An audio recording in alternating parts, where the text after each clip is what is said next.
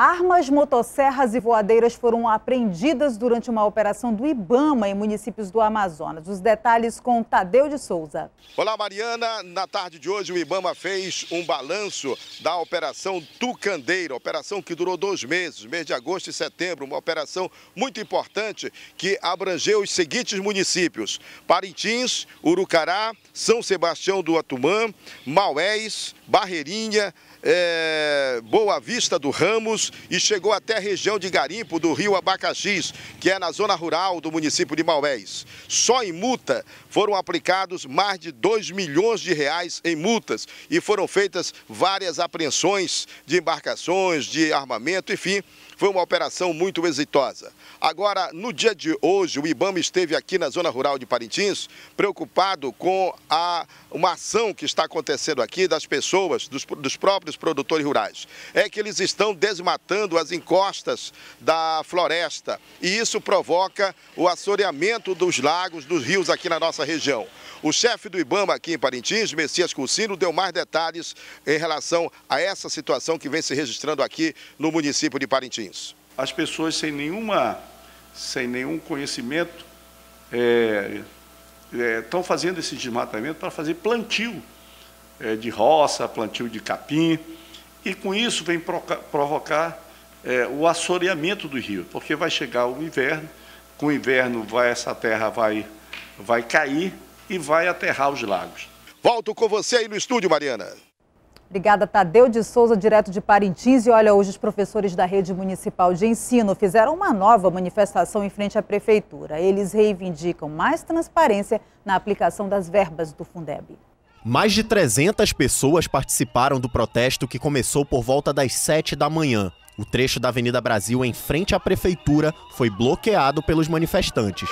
O trânsito na área ficou complicado. Agentes do Manaus Trans foram até o local para orientar os motoristas. A polícia também foi acionada.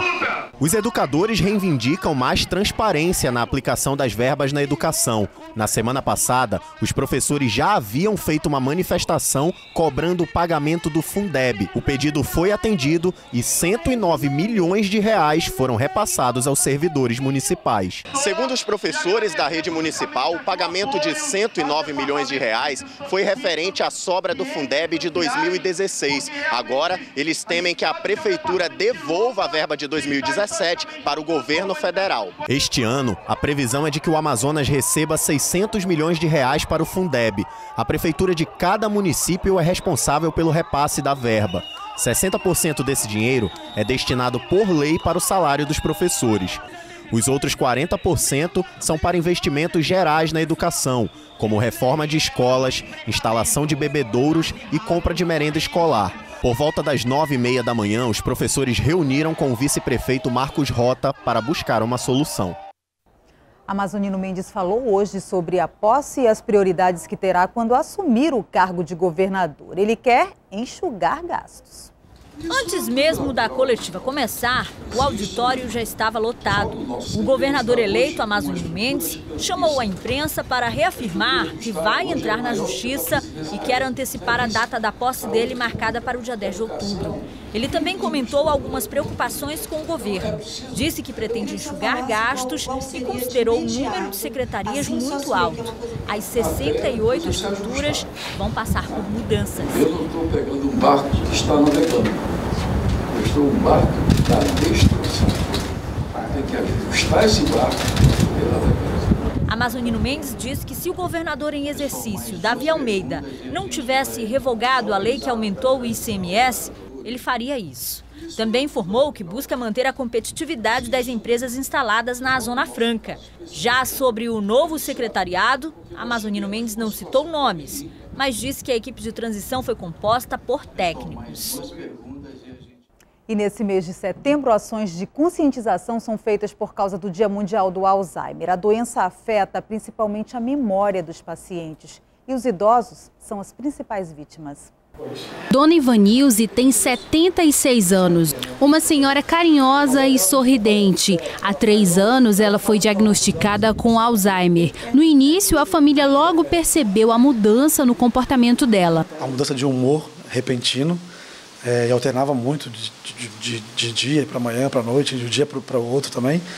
E a questão das atividades em casa, né? Aquilo que ela costumava fazer, que era costume dela fazer, como dona de casa hoje, que é aposentada, já não estava sendo feito de forma é, como antes. Eles tiveram que adaptar algumas coisas em casa, como colocar essas etiquetas nos armários para que ela pudesse identificar o lugar certo de cada objeto.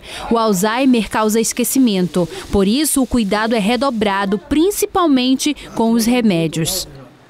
E às vezes ela quer tomar o remédio duas vezes que ela pensa que não tomou. Segundo a Organização Mundial de Saúde, o Alzheimer é a forma mais comum de demência, responsável por 70% dos casos, que atingem quase 50 milhões de pessoas no mundo. Os principais sintomas da doença são perda de memória, ansiedade, agitação e dificuldade em realizar atividades do dia a dia, como alimentar-se e tomar banho. Ela vai degenerando devagarinho os neurônios, vai diminuindo as sinapses, quer dizer, a comunicação entre um neurônio e outro neurônio, para que se faça, por exemplo, ela olha para você, sabe quem você é, mas não sabe nominar você.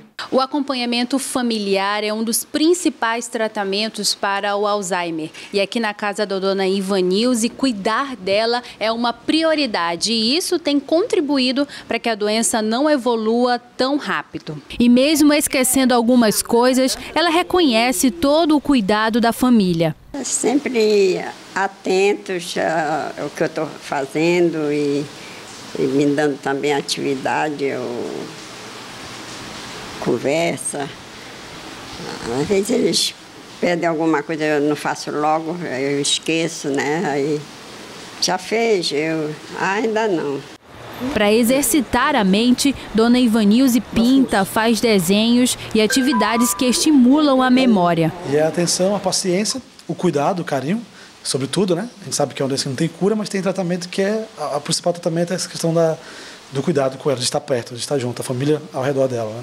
Não há cura para o Alzheimer e a doença tem várias fases. Na mais crítica, o paciente acaba nem reconhecendo mais os familiares e amigos e os sintomas pioram com o passar dos anos. E a segunda fase é uma fase de incontinência urinária, prostração, dificuldade na alimentação, quer dizer, esse velhinho já está né, com mais de 10 anos de evolução. A dona Ivanilze, por exemplo, está na fase inicial da doença, mas ainda tem algo que ela lembra muito bem de fazer, não é, seu Raimundo? Quando eu deixo, vez que tem um barzinho aqui embaixo, ela vai para a janela que ela acha que eu tenho uma namorada aí embaixo. Imagine vocês. Isso ela não esquece? Não, isso aí não, ela não esquece, ela vai para a janela. É, ela pode até esquecer de algumas coisas, mas lá no fundo tem a certeza de que o amor da família nunca vai acabar. Oh, beijo gostoso. No próximo bloco tem esporte. As meninas do Iranduba são apresentadas para o Campeonato Amazonense de Futebol que começa amanhã. E você vai conhecer a história do único amazonense a representar o Brasil em uma ultramaratona na África do Sul. É depois do intervalo.